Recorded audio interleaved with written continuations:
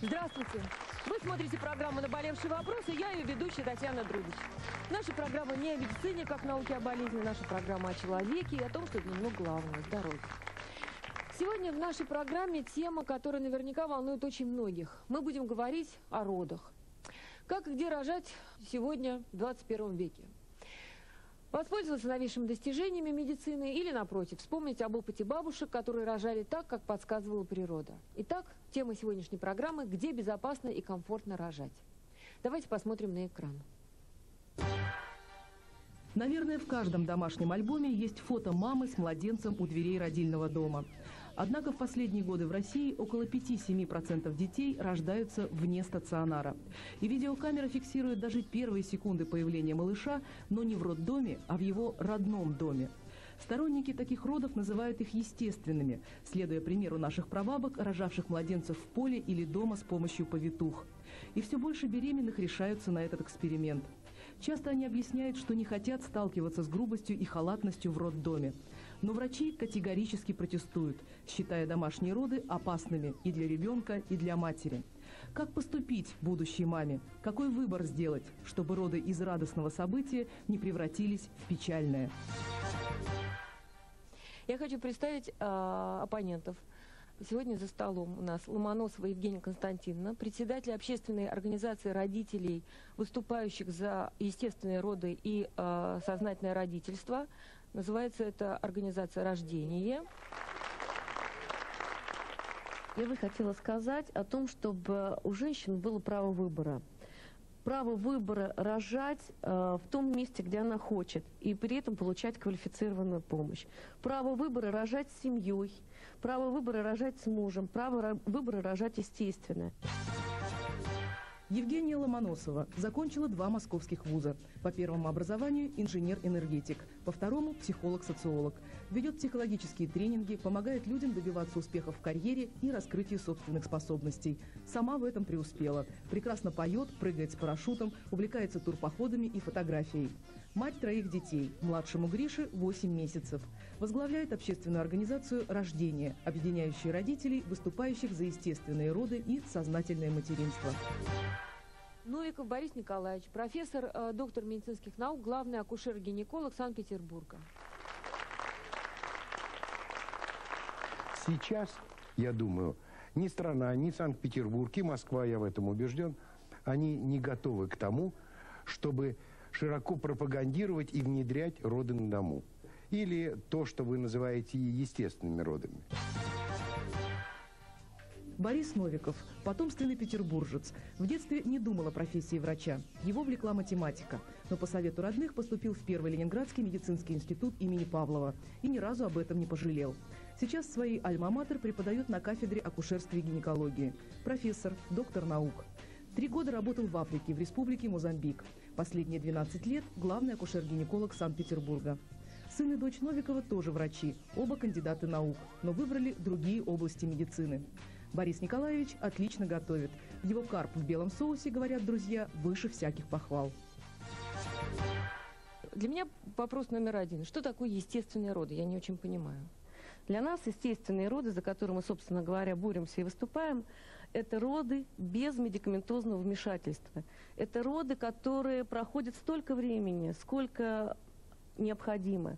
Это роды, которые не стимулированы. Это не кесарево сечение, да? Если беременность протекала нормально, я так понимаю, и там нет никаких, э, так сказать, По сути, госпитальных да. показаний. Об этом и речь.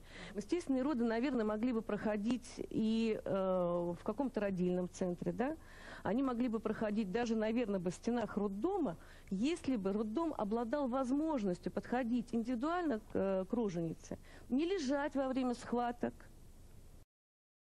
стоять на четвереньках, если ей так удобно, э, там, я не знаю, сидеть на мече, как угодно, да, то есть те позы, которые позволяют ей обезболить этот процесс. Я так понимаю, Жень, вы рожали дома?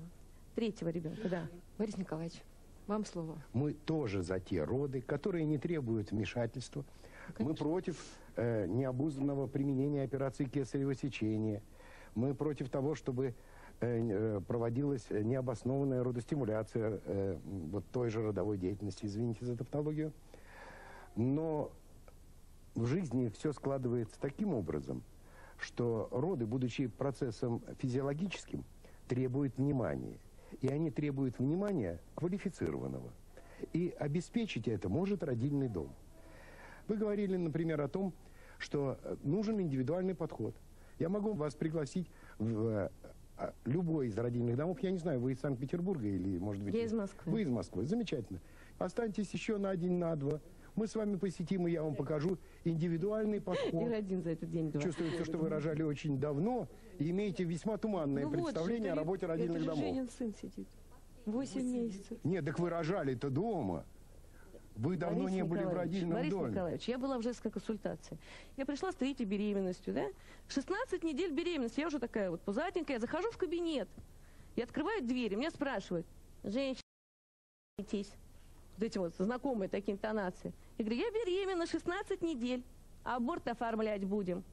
Вот, вот этим мне сказано Вот все. это клевета с первого до последнего слова. Татьяна, правда на нашей стороне. Видит нас Господь. И видит законодательство, Да. и видит министр Я не юстиции. знаю, что у вас видит Господь, Секундочку, видит я вас не перебивал, я вас очень внимательно слушал. Это ложь от первого до последнего слова. Спросите любую Пота- многодетную мать, любую третью беременность ей начинают предлагать насильно Момент. практически Вот сидит аборты. многодетная мать. Я хочу, извините, представить, у нас в студии Щербина Лариса Анатольевна, кандидат медицинских наук, врач-акушер-гинеколог первого э, роддома Санкт-Петербурга. Самое главное, что это мать детей. И мама троих детей. 27 лет, сыну 17 и последнему сыну 5 лет. Вторые роды были очень трудными, очень тяжелыми. И только благодаря тем докторам, профессорам, акушеркам, педиатрам, нянечкам осталась жива я и остался жив мой сын, который сейчас заканчивает школу с золотой медалью и обязательно будет поступать в наш первый медицинский университет. И мы из него сделаем акушера-гинеколога. Ну, я подумаю на эту тему, Борис Николаевич. Но вот последние роды доставили мне самое большое удовольствие, потому что здесь, на родах, за все эти годы акушерство изменило свою точку зрения по отношению к родам. На последних родах со мной мог быть и был мой муж. Эти роды были замечательными, они были домашними, но они были обеспечены всем. Я знала, что меня спасут. Это важно. Это важно. Лариса Анатольевна, я вас поздравляю, что действительно у вас э, такая замечательная семейная вот э, хронология. Но дело в том, что все-таки точка зрения врачей. У нас в студии мать пятерых детей. Это Златкина Елена Анатольевна. Да, я хотела бы ей дать слово. У меня пятеро детей, как уже сказали. Троих я родила в различных роддомах города Санкт-Петербурга, двое последних домашние дети. Ну, первые двое родов, это были роды в потоке, я ими была очень недовольна, меня смущало без прежде всего медицинского. Вот. Третий ребенок, он был уже рожден в так называемые семейные роды, это был предварительно заключен контракт, заплачена крупная сумма денег. Э, Вот. Врач была очень дружелюбна на предварительных беседах. Она, безусловно, обещала мне ну, все то, что мы здесь уже слышали. Естественный подход, свободные позы, свободные роды. Когда я приехала рожать ребенка уже со схватками, я не получила ничего из этого. Врач провела роды так, как было удобно ей, к сожалению. Вот. Это было в 2000 году. Прошло 7 лет. Простите, я не верю, что за 7 лет эти люди ну, душу свою поменяли, которые там работали. Вы второй человек, которого я тоже приглашаю. Вас Я не сомневаюсь, прекрасная палата, что вы проведете образцово-показательные роды, но это будет экскурсия. Это Душа никогда моя, не пойдет массовый Это неправда. Поезжайте в любой родильный дом в Санкт-Петербурге. Я думаю, Речь что то же идет самое о и в Москве. системе родовспоможения по всей стране. Вы прекрасно Система знаете. родовспоможения в Что стране, она- она... Именно система, которая работает сама для себя. Когда роженица поступает в роддом, у нее есть только какое-то определенное время. Она должна родить либо до конца смены, и ей дают акушерский сон, чтобы она там перешла на другую смену. Это моя история. Не надо мне рассказывать лично, как это проходит. Сегодня получилось так,